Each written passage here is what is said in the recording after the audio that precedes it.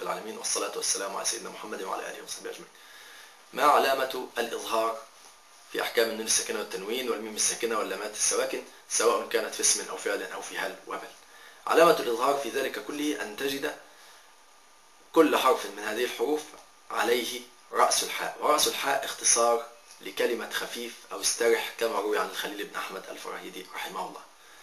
وأما علامة الإظهار في التنوين فهو أن تجد الضمة وفوقها نصف دائرة. وأن تجد الفتحتين والكسرتين متوازيتين. وأما علامة الإدغام في النون الساكنة والتنوين والميم الساكنة واللامات السواكن فهو أن تجد الحرف الأول بغير شكل ليس فوقه شيء.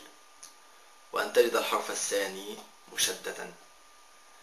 وأما التنوين فعلامته أن تجد الضمتين مرسومتين وأن تجد الفتحتين غير متوازيتين وكذا الكسرتان تجدهما غير متوازيتين.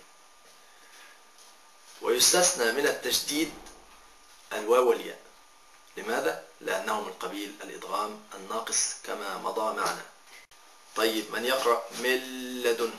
من ربهم هذا من طريق الطيبة وبناء على طريق الطيبة من الممكن أن ترسم هذه الكلمات التي فيها إدغام ناقص يعني إدغام بغنة من لدنه من ربهم وما شابه ذلك في اللام والراء ترسم بغير تجديد. ولكن ولأن القرآن الكريم رسم بناء على طريق الشاطبية وجدنا الحرف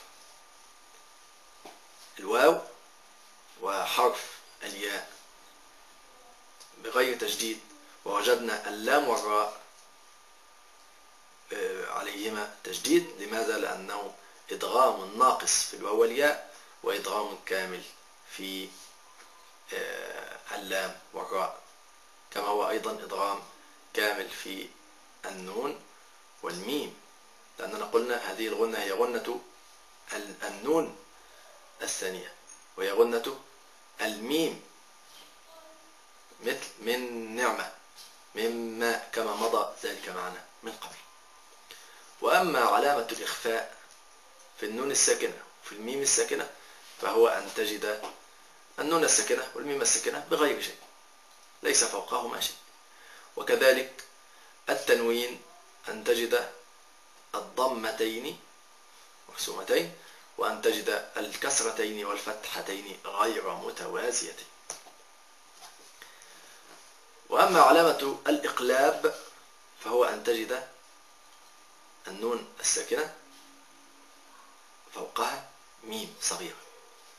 وأن تجد الميم الصغيرة هذه أيضا ملازمة لضمة قبلها أو لكسرة قبلها أو لفتحة قبلها في التنوين. لأننا قلبنا هذه النون ميما. فنقول سميع بصير. نقول مثلا من بعد فعلامة الإقلاب في النون الساكنة والتنوين واحدة ألا وهي الميم الساكنة. والحمد لله رب العالمين. وصلي اللهم وسلم على سيدنا محمد وعلى آله وصحبه أجمعين.